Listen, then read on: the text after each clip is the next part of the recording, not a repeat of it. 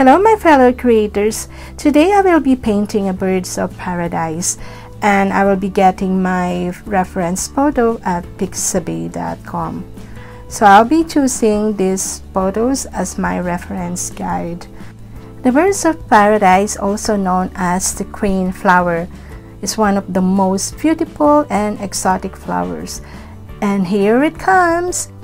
I love the striking and bright colors of this flower and the name bird of paradise comes from its spectacular flower shape which resembles the bird's beak and head.